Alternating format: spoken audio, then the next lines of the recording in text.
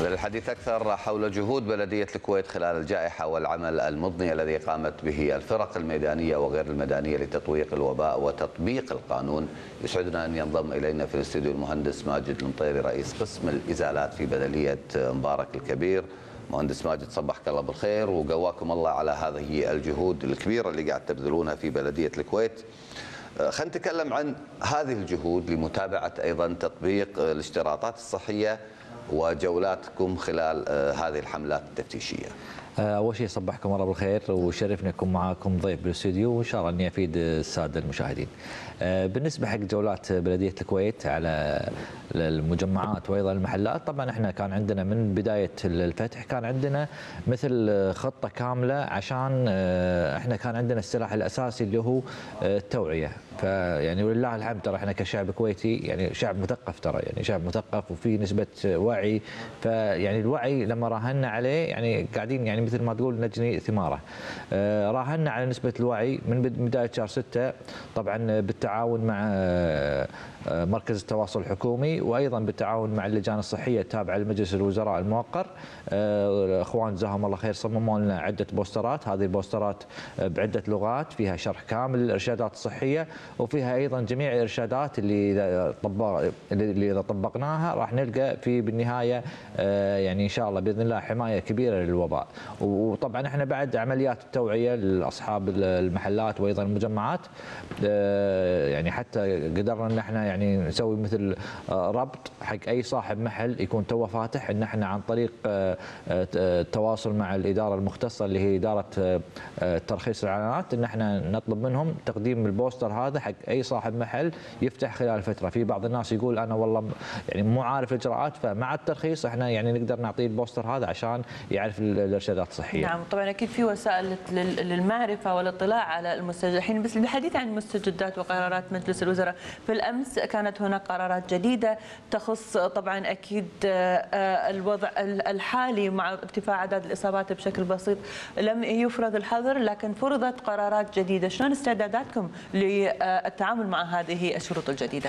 بالنسبة إحنا اجراءاتنا كبلدية الكويت طبعا أول ما يصدر قرار من مجلس الوزراء الموقر بلدية الكويت تصدر قرار فوري فيه التوصيه اللي صدرت من مجلس الوزراء. آخر قرار كان عندنا قبل أسبوعين تقريبا قرار رقم 566 اللي يتعلق بنوعية الأنشطة اللي اللي اللي تم غلقها وفي بعض الأنشطة اللي يكون مفتوحة بشروط. في الأنشطة اللي تم غلقها قبل أسبوعين كانت الأندية الصحية وأيضا كانت الصالونات. فكان كان دور البلدية انها أصدرت قرار بتنظيم هذه العملية. وبالنسبة حق المحلات اللي كان لها وقت معين تفتح بعد الساعة 8 هذه المحلات اللي هي المحلات الغذائية.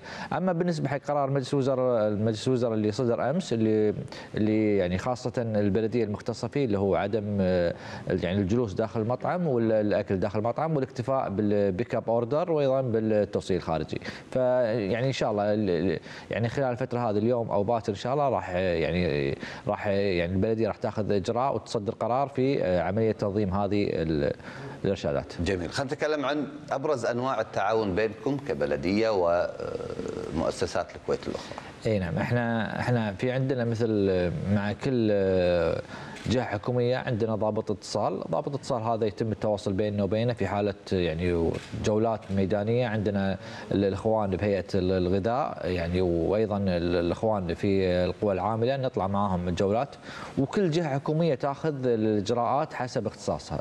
طبعا إحنا اختصاصاتنا كبلديه الكويت تكون في عملية تنظيم داخل المحل. مثلا إذا البلدية إذا المكان كان في زحمة البلدية تطلع تنظم المكان. يعني لازم يكون في عندنا علم بالمساحة الموجودة كم. لازم تكون العدد إحنا نكون لازم عارفين العدد. فلا يعني ما يكون في نسبة تزاحم. وأيضا عندنا يعني نشيك على توفر الجهاز الكاشف الحرارة.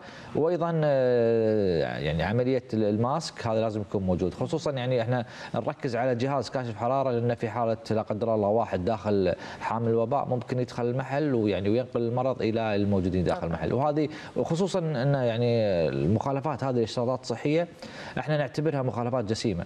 يعني أي شيء يضر بصحة الناس هذه نعتبرها خط أحمر وهذا الشيء لا يمكن نسمح فيه. طبعا يعطيكم العافية، طبعا حضرتك آه، مهندس ماجد رئيس قسم الإزالات في بلدية مبارك الكبير. نعم. أبي أتكلم عن الجانب المجتمعي، عن التوعية المجتمعية اللي حضرتك ذكرتها، اذا في هناك شكاوي تجي من الناس بخصوص بعض الأمور اللي يشوفونها، شنو كانت أبرز هذه الشكاوي؟ شنو الأشياء اللي تحس تتكرر كثيرا وشلون تتعاملون معها؟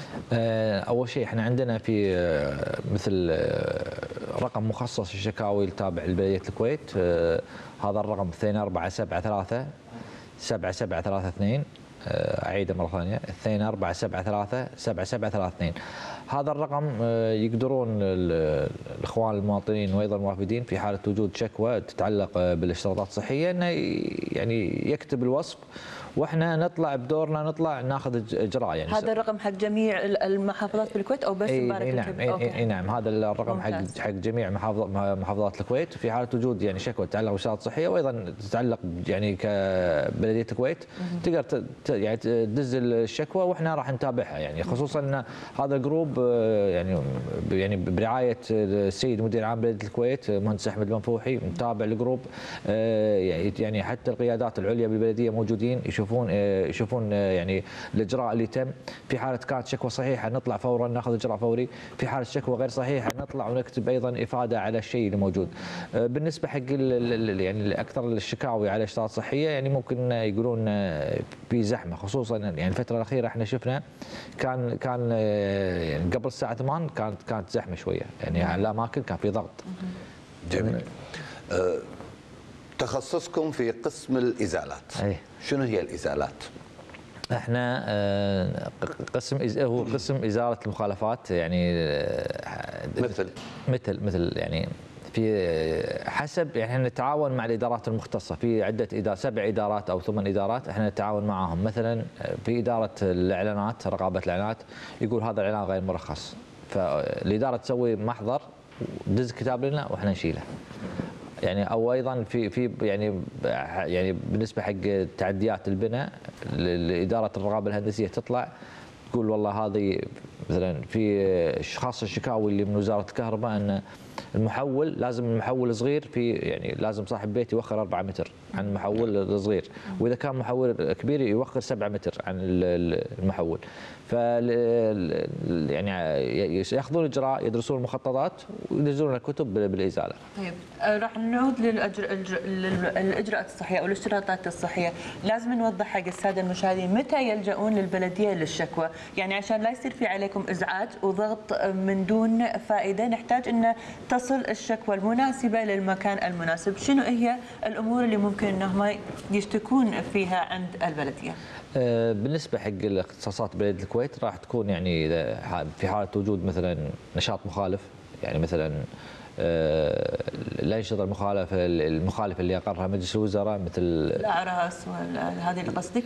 لا لا هذه آه، إحنا إحنا كبلديه الكويت تكون مثلا شيشة. هذه مو من اختصاصات إي لا لا مو اختصاص الشيشة مثلا أو أو الصالونات النسائية والرجالية أيضا الحين خلال يعني أمس أقروا إن موضوع عدم الأكل داخل المطعم فهذه الشكاوي عدم يعني خاصة أكثر الشكاوي المهمه تكون يعني إذا كانوا العمال غير ملتزمين بالاشتراطات الصحية. جميل. بعد إزالة هذه الإزالات وين تروح؟ اي حسب يعني إذا كانت مثلا إزالة يعني شيء فيه حديد يعني راح ندز كتاب حق الحجز بكميه الأشياء اللي, اللي تم إزالتها و وصف كل اللي موجود وتصير الإزالة على حساب المخالف مثلا عد حساب المخالف نعم إذا أنا مخالف وعندي مثلا عملت شيء معين نعم. على سبيل المثال إعلان مظلة نعم. ديوانيه خارجية أعتقد أن إلى الآن هذا القرار إلى الآن ممنوع أن واحد يسوي ديوانيه نعم. خارجية نعم. لما يتم إزالة الأنقاض هذه أنا اللي أتحمل تكلفة نعم. توصيلها إلى المكان اللي أنتم تحددونه نعم إحنا نسوي كتاب في عدد آه، يعني إحنا في شيء اسمه مثل آه، نساق يشيل درب درب يعني يوديه من مكان الإزالة نعم. إلى مكان الحجز نعم. فنحسب عدد آه، كم درب يطلع؟ كم درب وبالنهايه انك تصير على حساب المخالف وش قدرت تاخذ؟ طول آه، الإزالة؟ لا ال- ال- الانقاض الموجودة. والله في في في بعض الإزالات آه، في واحدة يمكن قعدت ثلاث أسابيع إحنا قاعدين نشيل فيها. اللي هي اللي هي التشوينات، التشوين شنو معناته؟ معناته انه واحد يحاوط الأرض ممكن يأجرها أو ممكن يعني إنه يعني يست- يستغلها يعني املاك دولة هذه، هذا املاك دولة. ما هي أرضة بعد. مو أرض أي. فإحنا لما نسوي عليه ط- نسوي عليه ازاله راح يطول. فممكن تقعد ثلاث أسابيع أسبوعين. يعطيكم العافية على آه، كل شيء قاعدين تسوونه خصوصا بما يخص آه، تطبيق قوانين آه، مجلس الوزراء ويعطيكم العافية على هذه المتابعات المستمرة. شكرا جزيلا لك كنت معنا في برنامج العالم هذا الصباح. المهندس ماجد المطيري رئيس قسم الإزالات في بلدية مبارك الكبير. شكرا جزيلا لك. شكرا جزيلا.